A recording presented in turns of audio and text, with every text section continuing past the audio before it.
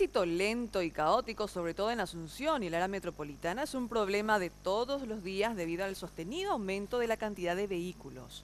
En el siguiente informe les contaremos cuáles serían las soluciones efectivas que se podrían aplicar. Por lo menos desde la comuna capitalina aseguran que desean mejorar el servicio del transporte público y las vías alternativas.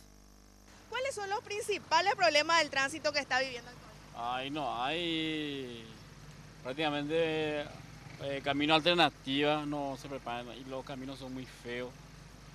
Y cada vez hay más vehículos, pero la ruta es más, más pésimo y ahí me hacía mucho tráfico. Ese es el problema. Las calles, pésimo estado y falta de organización.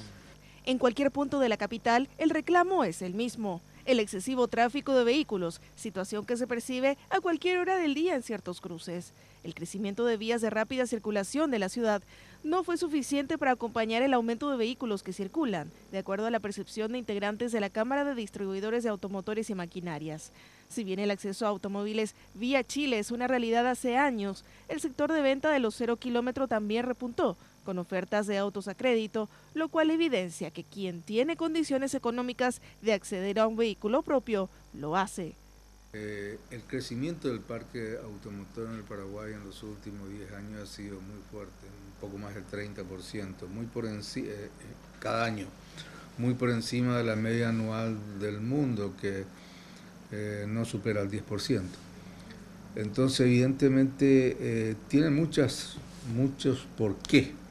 Uno debe ser porque el transporte público es tan malo, recién ahora están haciendo algunos parches para mejorarlo, tener vehículos nuevos, eso es todo un, cambio importante este año.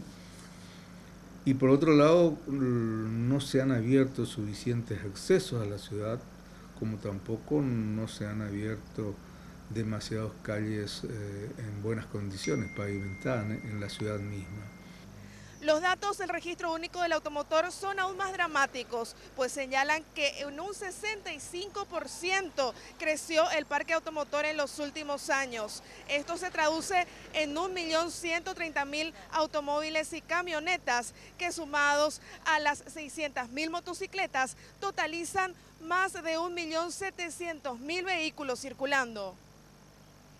En las grandes urbes con problemas de congestionamiento vehicular son varias las alternativas que se aplican, como cambios de sentido de acceso o salida a la ciudad en ciertos horarios o restricción de circulación de vehículos algunos días de acuerdo al número de terminación de placas. En Asunción, las autoridades de tránsito reconocen que si bien hubo mejoras en el transporte público, aún no se reduce el tiempo que lleva a los ciudadanos utilizar estos vehículos y todas las esperanzas están puestas en el Metrobús.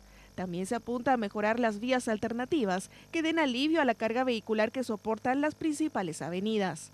Lo fundamental es que el transporte público de pasajeros sea eficiente, sea confiable y eh, que permita un traslado rápido de la gente, de tal manera que sea atractivo y eh, la gente prefiera dejar sus vehículos y utilizar el transporte público se está trabajando en intervenciones puntuales, intersecciones conflictivas eh, y también se está trabajando eh, en las zonas de congestionamiento, porque eh, las soluciones son necesarias que se apliquen en extensas áreas para que puedan verse los resultados.